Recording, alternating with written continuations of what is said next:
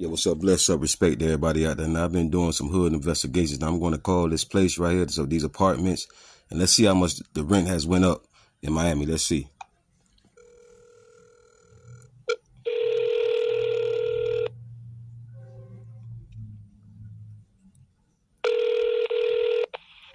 Hello.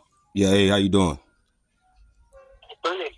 Yeah, yeah. I see you, you got a place for, uh, for rent over there on on, on 62nd Terrace and uh like 15, between 15 and 17. Yeah, but I I, I don't have any no more. I'm looking at it. What are you looking for? A, a one bedroom, two bedroom, For how many people? just two, just two people. You and who else? Me and my girlfriend. No kids? No, But what do you do for a living? I work.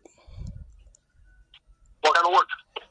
I'm a I'm a plumber, man. I'm, I'm a plumber slash uh, yard man. My girlfriend is a teacher. My girlfriend is a teacher. I was really just trying to get a price, man. Like, I, like how much are the one bedrooms? But the price the price the price is fifteen hundred. That's that's first, last security. No, fifteen hundred a month, and it's two thousand deposit and fifteen hundred first month, so it's thirty five hundred to move in. Okay, so that's for a, a one bedroom, right? It's a whole apartment. It's full apartment. The, the living room, uh, kitchen, bedroom, and bathroom. All right, thank you. All. Right.